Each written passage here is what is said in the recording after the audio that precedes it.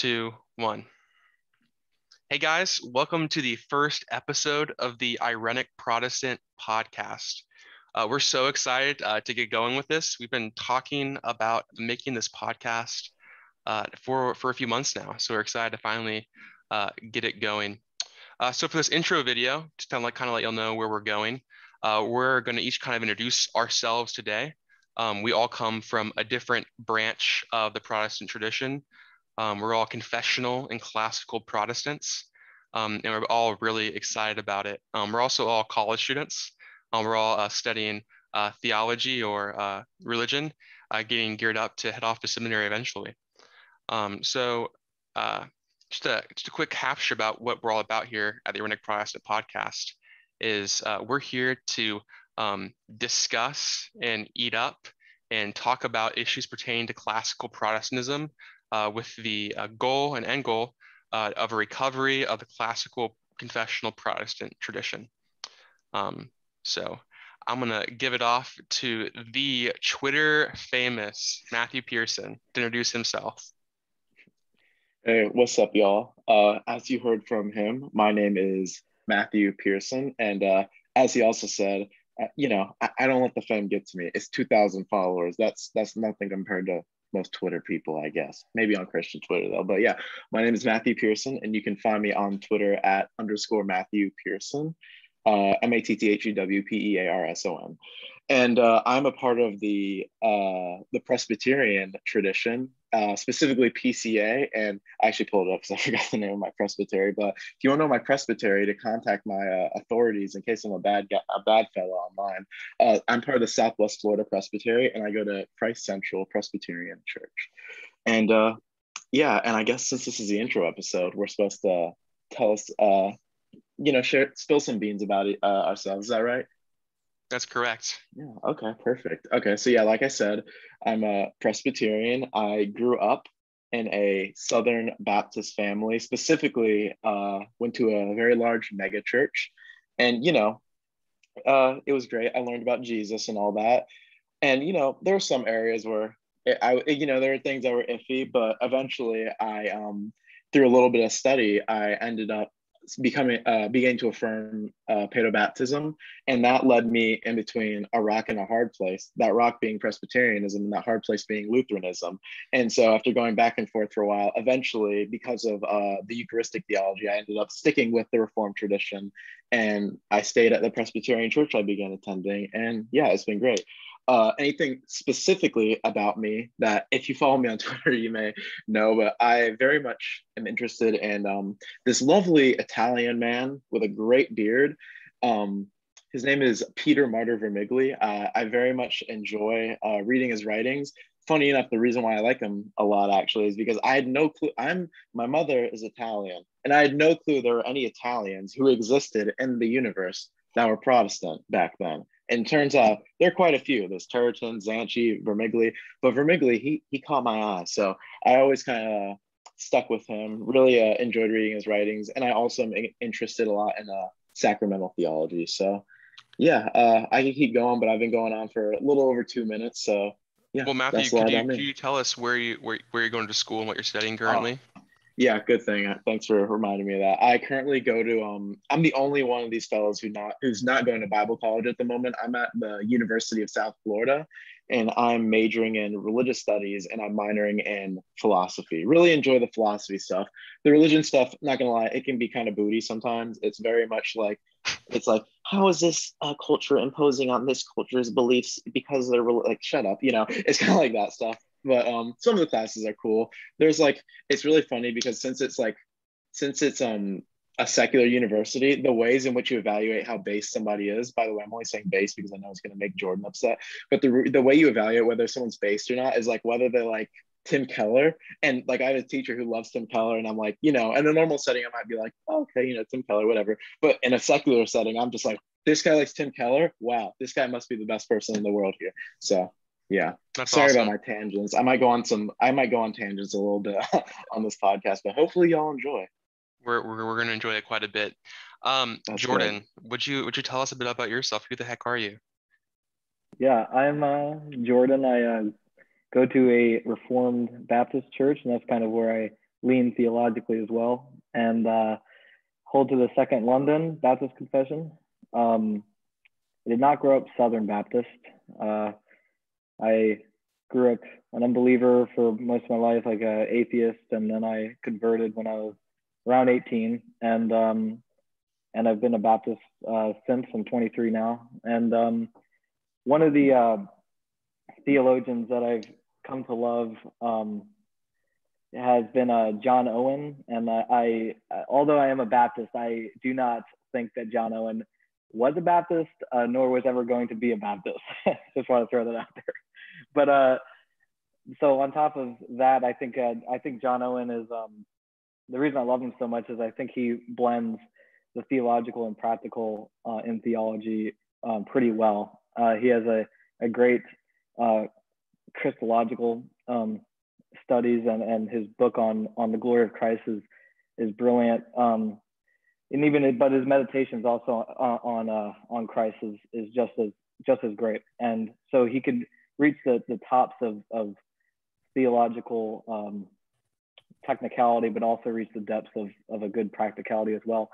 And so on top of that, I uh, I also have an interest in like Protestant uh, ecumenism and uh, Irenicism and just visible unity with uh, within Protestantism. And so, um, you know, I I have a somewhat eclectic library of, of so many different denominations and and um, groups of believers. Uh, so yeah, I mean that's that's generally generally what I am interested in. So. Real Something... quick before we move on, um, not all of us watch Gavin Ortlund's YouTube channel. So can one of us define what Irenic means? Because we're called the Irenic Protestants.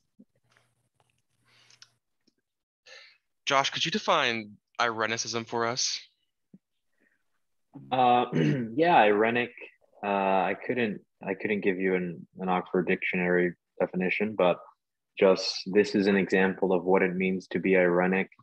for there to be, although our theological differences, for example, Jordan's view of baptism and my view of paedobaptism, although there's theological differences, we're going to unite with one hand and one voice and acknowledge that we are all part of the visible church of Jesus Christ. And despite our theological differences, we're going to work uh, to maintain um, unity between uh, all most of the Protestant um, mm-hmm. denominations or yeah. branches of Protestantism. So yeah, I guess we're we are an example of what it means to be Irenic. Uh, I guess yeah, I guess that's my example. Yeah. So I actually I pulled the term Irenic Protestant um, from from Steven Wedgeworth on on Twitter. I heard him using the term. I you know um, him describe himself in that way. I, I found it compelling, uh, and I think you, you see this this trend in in Protestantism of guys that are a bit more eclectic um, and will in being able to appropriate from across the classical Protestant tradition where they where they see that it's useful. Um, I think you get a lot of this from like the Davenant Institute and, and guys like that, which are my heroes, which I see as like peak Irenic Protestants. I mean, the Davenant Institute's made up of Presbyterians, Baptists, Anglicans, and um, and amidst their disagreements, they're working together to recover classical Protestant wisdom and theology. Um, and so that's kind of where I got the term from. And I thought it was an apt term to describe us for and what our goal is here. Um, I'll introduce myself now too. Uh, I'm Jonathan McKenzie. I am I'm the host of uh, this Irenic Protestant podcast. Uh, I am the resident um, Anglican of the podcast. Uh, I say Anglican in a weird way because uh, the simple fact is I've only ever been a part of an Anglican church for months. Um, since leaving the home, growing up in a in a Baptist world, uh, in a very much like um, Reformed-ish Baptist world, um, I kind of read my way into the Anglican tradition uh, uh, by the end of uh, college. Um, really prayed my way in using the 1660 Book Common Prayer, and um, still still pray it quite often. Um, and so uh, actually, I currently attend a, a, Presbyterian church, a very high church nice. Presbyterian church here in uh, in Orlando in the PCA. Um, it's uh, St. Paul's Presbyterian. So if you ever need to comment, contact my session with issues about me, I'll let them know. Um, I do hope on eventually joining uh, a solid Anglican congregation uh, at, at some point, but just uh, in the Orlando area, that's a, it's a bit harder than you might think.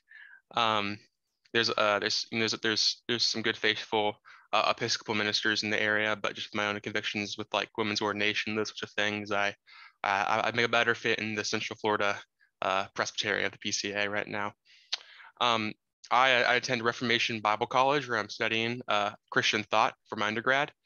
Um, in my uh, particular theological interests are less in uh, one, uh, you know, uh, one individual, but really in um, a few topics. But the main one for me is uh, liturgy and prayer book studies.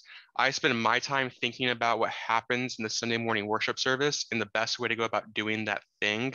I'm fixated on the liturgy and the dance that takes place, uh, not just because it's like a really cool, beautiful dance, because this dance and in it we participate in the heavenly reality and in in in what God's doing in the world. And it's the means by which God is recreating the world and equipping his people and going to war against the world, the flesh, and the devil. So I get really excited about it. So I spend a, a lot of my time studying um, the prayer book uh, and the various prayer books. Um, I'm a prayer book nerd, and that's what I, that's what I care about. Um, and the other area of um, interest for me uh, in general is uh, sacramentology, um, specifically um, just the reappropriation of it in Protestantism. You know, I I study it so much that uh, I I sometimes don't know where I'm at because I just I just love reading it from an eclectic perspective. Um, the last thing I'd say about myself that might be of interest for this podcast is out of the four of us, I'm the I'm the least specialized. Uh, I, I, I tend to be a bit more eclectic when I read and what I study and what I what I care about. Um, and so that is why I am the host. I, I think I'm better uh, oriented towards asking these really guys that are specialized in their one area questions about that one area because I'm curious about it. Um, I think that's all to say about me. Uh, Josh, would you introduce your beautiful self to the audience? Sure. Um, my name is Joshua Janniere. I'm from New York City originally um, and moved down to Sanford, Florida to attend college with uh, these great brothers, Jordan and uh, Jonathan at Reformation Bible College. Um, I'm currently in the um, Biblical Studies program, accelerated track. Um, that is, I'm scheduled to graduate in two and a half years and hopefully go to a, a respected seminary that's connected with the school. I am a teaching um, intern in the URCNA, so I'm Dutch Reformed, um, hold to the three forms of unity. Um, and my particular interests are just Reformed scholasticism in general, um, and just in particular is just specific Dutch scholastics in the 17th century um, and the response to the Enlightenment.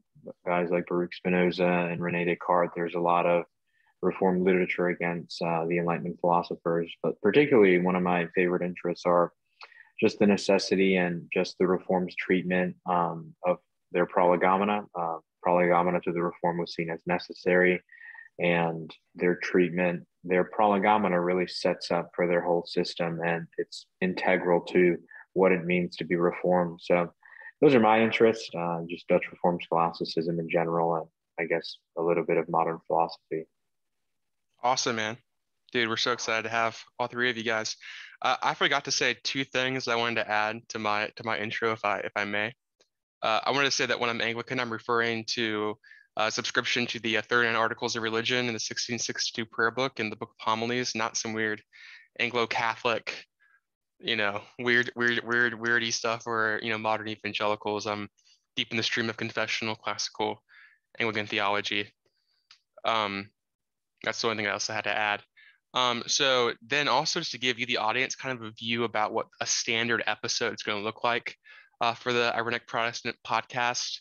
Um, uh, basically the way we're going to do this is kind of a, a, seminar style podcast. So each week we're going to have one of our one of our uh, panelists here on the podcast. Um, they're going to prepare we're going to they're, they're going to prepare um, a topic of discussion. Uh, so say uh, just for, for example uh, next week josh is going to sorry the next in the next episode, which is going to be in uh, two weeks from this release date, uh, Josh is going to be um, discussing uh, Protestant prolegomena and why it's necessary. So he's going to uh, give it a, uh, uh, we'll give an intro and kind of catch up real quick and ask question of the week just to get us going. And then jo- uh, Josh will present uh, 15 to 20 minutes on his topic on why we need to recover Protestant um, prolegomena and why why that's important. And then we'll take the next um, we'll take the next uh, 15 minutes or so, just kind of questioning him, discussing that topic, you know, 15 to 20 minutes discussing that topic, pressing him and asking questions that we think are necessary and kind of have a seminar style discussion. We'll prepare beforehand to kind of be ready to ask questions regarding that. Uh, and then we'll just, we'll just wrap up. Um, so we're looking to discover um, uh, and, and talk about topics just relating to classical Protestantism in general, whether it be Vermigli's Eucharistic theology or Owen's doctrine of the atonement, or uh, discussing some Anglo-Catholic understandings of the Eucharistic sacrifice, like we're ready to go and we're ready to discuss those topics. Um, hey, Josh, would you be willing to give us a quick sales pitch for why we want to come back for the next episode to hear you talk about why we need prolegomena? Yeah, I can do that. Um, prolegomena is a big word, um, and when we see big words that we don't understand, we tend to not you know, want to go back. If, you know, if I was in your position and I said, why I'm prolegomena, first of all, I don't even know what that word means. So why should I come back and watch? So prolegomena just means things said prior, and any proper science has a prolegomena. Um, things need to be said prior before you treat um, the existence of your subject matter. And obviously, our subject matter is God, and the science is theology. Um, but prolegomena is, is necessary because it allows you to do theology in a way that honors and glorifies God. Um, it allows you to do theology as a Christian. Um, it, it prepares you to treat each theological locus, such as the doctrine of God, the doctrine of Christ, sacramentology, and do so in such a way that, you know, you do not err, right? You know, something that is said a lot in our in Reformed prolegomena is that the finite cannot comprehend the infinite. So, for example, let's say we're treating the doctrine of God, and obviously the Trinity is one of you know one of the divine mysteries of the Christian faith. And let's say you treat the Trinity in a rationalistic way, you're not doing theology um, in a way that honors the Lord, as Deuteronomy 29 says. You know, the secret things belong to the Lord, but that which we, that has been revealed belongs to us and to our children. So we want to maintain those distinctions between the knowledge that God has of himself, absolutely, as you know, the one true and living God, and the knowledge that we have as weak creatures, finite. Um, we think discursively, we're not, we're not God. So prolegomena allows you to do theology in a Christian way. Um, it's integral you know reform you know prolegomena was seen as integral to the reforms system. Um, and those who are reformed and those who are not reformed it should be it should be integral to you know if, especially if you have desire of theological ministry or just desire to um, teach your kids how to think about god you want to start with a good prolegomena you want to make sure that you have a good foundation um, before right? Uh, what does prolegomena mean? Things said prior you want to make sure the things that you said prior are right so that we're not building theology on impious foundations you know? You know jordan mentioned how john owen is a, a great example of what it means to treat theology and honor the theoretical and also know that it organically leads to the practical.